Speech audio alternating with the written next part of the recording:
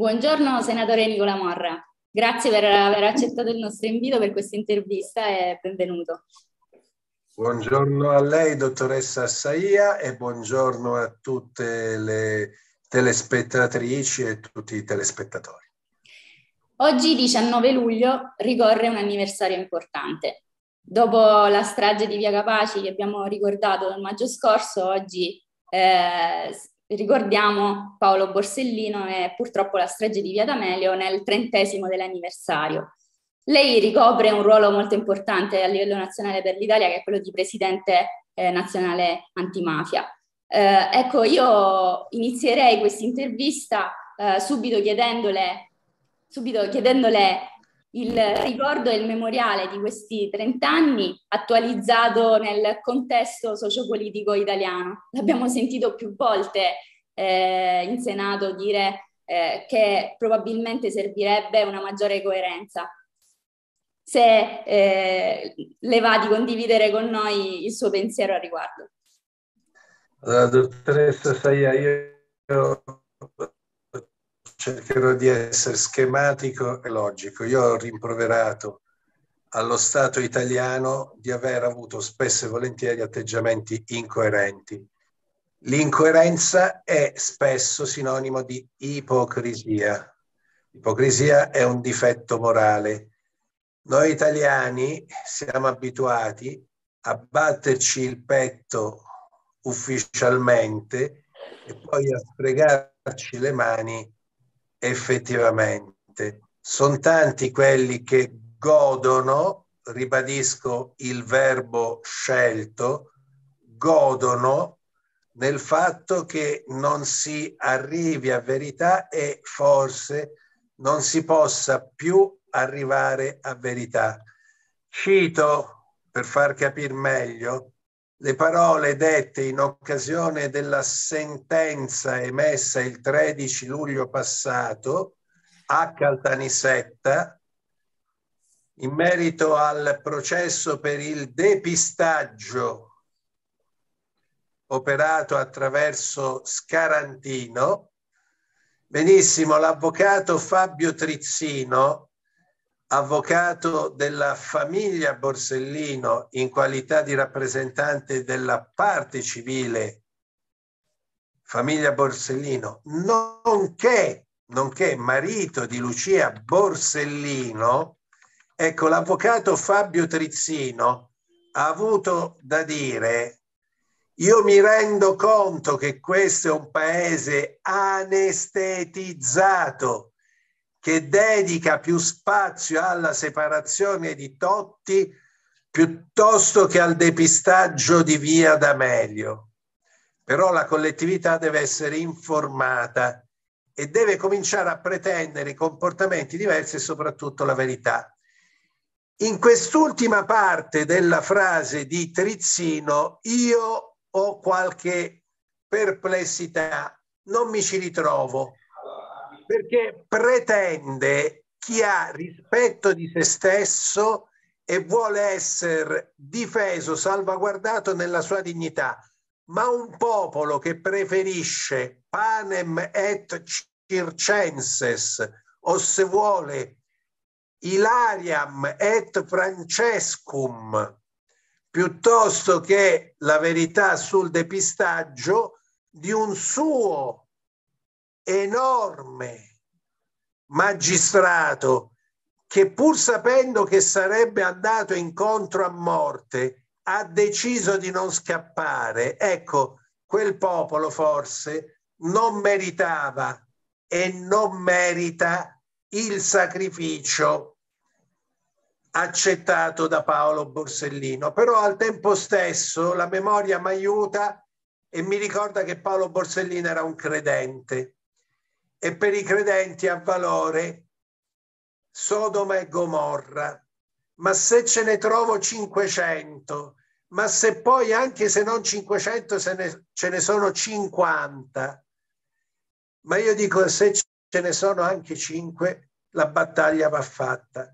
E quindi io sto qui ad accettare questa intervista appunto perché è mio dovere far sapere che lo Stato ha gravi problemi a sottoporre a processo se stesso, perché le responsabilità dello Stato e di alcuni suoi uomini di vertice sulla strage di Via D'Amelio, esattamente come sulla strage di Capaci barra Isola delle Femmine, sono a chi vuol capire evidenti. Poi chi non vuol capire non capirà mai.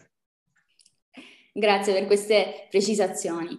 Eh, esistono, diciamo, il fenomeno mafioso si è evoluto nel corso del tempo ed esistono oggi diverse forme eh, di mafie eh, che purtroppo ci troviamo eh, a combattere. Secondo lei un sistema che possa combattere davvero, oltre a mettersi in discussione, quali armi dovrebbe utilizzare?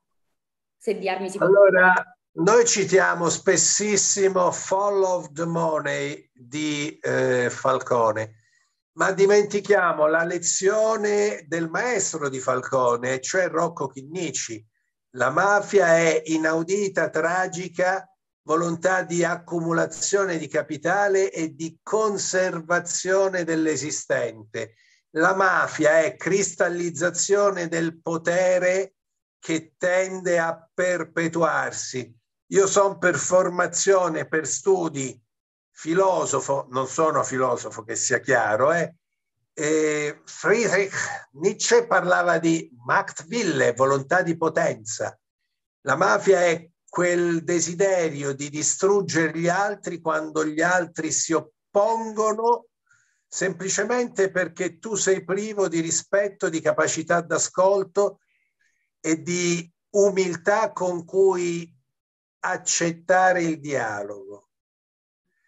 La mafia è in posizione del proprio ego a tutti gli altri ego in orizzonte. E allora la mafia è relazionalità, ma non relazionalità che riconosce all'altrui soggetto egual dignità, è relazionalità in cui una trama di potere deve permettere di subalternare, di soggiogare coloro che si oppongono. Quindi è uno strumento, la mafia, con cui assoggettare al proprio volere gli altri per fare sudditi e per distruggere cittadini. Pina sosteneva che particolare merito dei corleonesi dovesse essere riconosciuto nella capacità di instaurare relazioni con il potere dei colletti bianchi. Quindi una mafia rurale, una mafia avvezza ad usare lupara e pallettoni, è stata poi capace per realizzare per esempio il famoso sacco di Palermo di sedersi al tavolo con costruttori, con banchieri, con notai, con sindaci, con i cosiddetti colletti bianchi. Questa capacità propria di Cosa Nostra Corleonese avrebbe permesso alla stessa di vincere la partita sgominando la vecchia mafia e dunque la mafia si è rivelata sempre più, come aveva già capito Cesare Terranova, maestro di Paolo Borsellino, la mafia si è rivelata fenomeno ascrivibile alle classi dirigenti, strumento di potere con cui, in barba alle leggi della democrazia, il potere ha calpestato i diritti dei più deboli e dei più umili. La mafia è veicolazione di volontà di potere, di potere distruttivo, propria di settori dominanti le società che vogliono la distruzione dei diritti sociali ed individuali per affermare i propri privilegi. Questo l'avevano capito assai bene Cesare Terranova e poi Pio La Torre. Per questo motivo, grazie a loro, si è realizzata la legge che noi oggi chiamiamo Rognoni La Torre, ma che in realtà dovrebbe essere denominata La Torre ed altri. Noi dobbiamo sottrarre ricchezza, risorse, ma io aggiungo anche intelligenze a Cosa Nostra, mi creda, Io ogni tanto sono finito in carcere a visitare i detenuti al 41 bis e soprattutto all'alta sicurezza e mi sono reso conto che è straordinario il quoziente intellettivo di chi appartiene alle consorterie criminali di stampo mafioso. Assolutamente, chiaro. E questo fa rabbia perché lo Stato democratico dovrebbe non abbandonare, ma piuttosto arruolare le migliori intelligenze per far crescere lo spazio per i diritti, per estendere le tutele sociali e individuali. Al contrario, li sospinge in un mondo grigio che è quello del crimine che apparentemente è contro lo Stato, ma che molto spesso funziona come strumento di potere con cui gli occupatori dello Stato democratico continuano a mantenere posizioni di privilegio fregandosene dei valori della Carta Costituzionale. Tutto questo che lei ha appena annoverato, citato e spiegato in maniera eccelsa, come si coniuga con la riforma della giustizia? Qual è il suo parere? Benissimo, le faccio un esempio su tutti. Innanzitutto noi avevamo la prescrizione, adesso useremo un altro termine per indicare la stessa procedura, si chiamerà improcedibilità e con l'improcedibilità di fatto lo Stato abdicherà al suo ruolo decisivo che è quello di far giustizia. In più l'improcedibilità verrà accompagnata da altre dinamiche che impediranno comunque di far giustizia. Per esempio sarà il Parlamento ad indicare annualmente quali debbano essere i reati da perseguire più efficacemente e più frequentemente. E allora questo significa che c'è un volere politico che distingue reati. È ovvio che a questo punto chi è intelligente capirà quale sia la strada da battere e da seguire. Ma le faccio anche un'altra riflessione. In base alla riforma Cartabia, il magistrato verrà valutato non per la complessità dei processi che porterà a sentenza, non per la complessità dei fascicoli che istruirà, che esaminerà e che tradurrà in procedimenti, ma per il numero degli stessi. E allora glielo dico con parole che forse non sono consone, fra una cazzata ed un'indagine complessa su una strage, se tanto mi darà tanto, io magistrato che sono in qualche modo attento a far carriera, seguirò, aprirò il fascicolo sulla cazzata e terrò chiuso quello che implica un'indagine complessa e che potrebbe esitare in maniera negativa nel nullo addirittura in un processo che si concluda con una sentenza d'assoluzione, pregiudicando anche il mio futuro professionale. E quindi, se tanto mi dà tanto, io a questo punto privilegerò il lavoro che mi porta in discesa all'esito facile facile senza impegnarmi in qualcosa di più difficile più complesso lei è siciliana, quindi queste cose le capisce meglio di me. Cosa Nostra ha fatto mai schifezze in maniera chiara e solare oppure ha incessantemente offuscato, nascosto, mascariato, complicato, occultato, sporcato? A lei la risposta. A me e a tutti i siciliani che sicuramente guarderanno questi. Anche a tutti gli italiani, perché la Sicilia è Italia è perché ormai le schifezze di matrice mafiosa, anche calabrese, anche campana, si trovano anche in Val d'Aosta, anche in Trentino, anche in Lombardia, in Piemonte, in Emilia, in Liguria, in Veneto, quindi dappertutto. E con questo eh, andiamo a parlare anche di un altro evento importante che si svolgerà a Barcellona Pozzo di Gotto, unica tappa siciliana, il prossimo 30 luglio.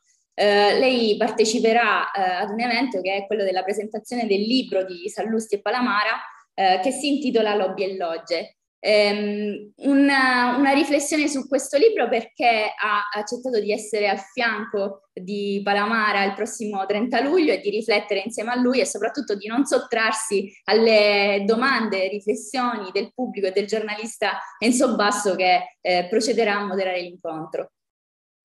Guardi, sarò molto molto netto. Innanzitutto non è la prima volta che sono al fianco di Luca Palamara per presentare questo libro, tant'è che è stato presentato anche in Senato per iniziativa del sottoscritto e con la partecipazione di Andrea Purgatori, di Alfonso Sabella e anche del coautore Sallusti. Sì. Di conseguenza, ci tengo a precisarlo, così come si debbono frequentare collaboratori di giustizia perché sono delle miniere informative pressoché inesauribili, io per quanto sottolinei che i comportamenti del dottor Palamara siano stati assolutamente riprovevoli, esecrabili e pertanto inaccettabili, ho il dovere comunque di sottolineare che quei comportamenti sono stati efficaci, cioè hanno prodotto schifezze, perché erano posti in essere anche con tanti e tanti altri. E allora non mi va che la giustizia acchiappi uno, lo massacri perché ha fatto schifezze e si dimentichi che quelle schifezze sono state possibili dall'attuale omertà, complicità di migliaia di altri magistrati che oggi si strappano le vesti e si strappano i capelli, ma prima condividevano con Palamara lo schifo. Anche quelli che oggi fanno le verginelle. Io non ho mai brigato per mandare al capo della procura di oppure come presidente della sezione fallimentare del tribunale di chi che sia. E questo lo si capisce anche recuperando chat, eh, WhatsApp e così via. Io posso augurarmi che una persona definita dagli stessi magistrati incorruttibile, serissima, integerrima, come per esempio il dottor Marcello Viola, che voi siciliani conoscete assai bene, ecco, posso augurarmi che divenga procuratore capo in un ufficio giudiziario particolarmente importante, ma non ho mai fatto un messaggino del tipo è possibile salvare il soldato De Rao? E questo messaggino l'ha scritto qualcuno che all'epoca, quando scriveva, era ministro dell'interno. Ho detto tutto.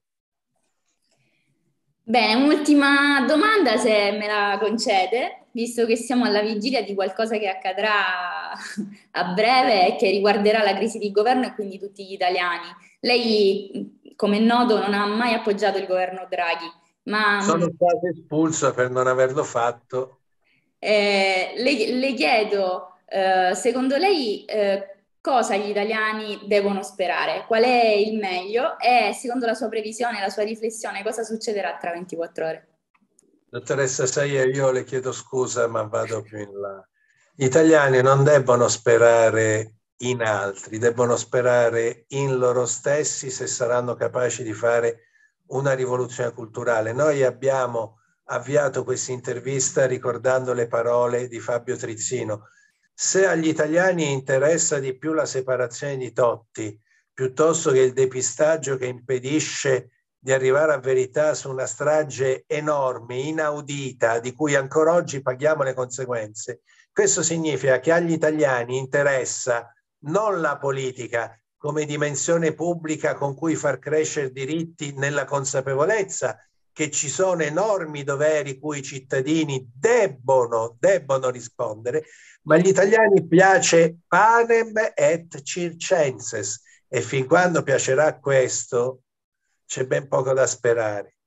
E allora noi dobbiamo tornare a lavorare sulla rivoluzione culturale, perché accetto l'invito a Barcellona Pozzo di Gotto, perché andrò il giorno dopo a Vibo Valencia sempre per presentare il libro di Palamara, perché è giusto che quei pochi italiani che saranno alle nostre presentazioni del libro, poi tornando a casa, se ne saremo capaci, memori di quanto detto, facciano quello che stiamo facendo noi, e cioè i missi dominici.